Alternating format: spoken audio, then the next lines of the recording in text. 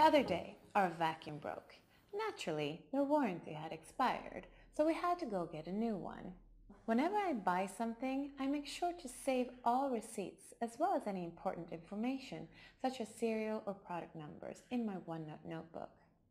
To save a record of the receipt and the warranty card, I'll open up OneNote and create a new note.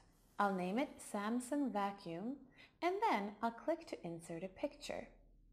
I can choose to insert a photo from my photo library or take a picture. I'll just take a picture of the receipt.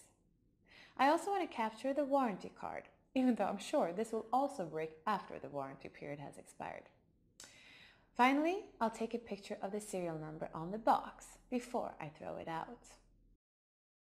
When you save photos this way into OneNote, you get a copy of all of the receipts in your photo album. You can just delete them from here since you have a copy in your OneNote notebook. But later, I'll show you another way of capturing receipts using Office Lens that I actually prefer because then you don't have a duplicate copy in your photo album. The OneNote page I created for the Samsung vacuum cleaner with the receipt and the warranty card and the serial number is now synchronized across all my devices.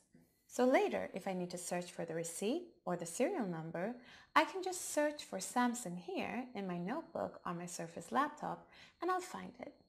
Not only does OneNote search the text I wrote, it can search text in the photograph of the receipts as well.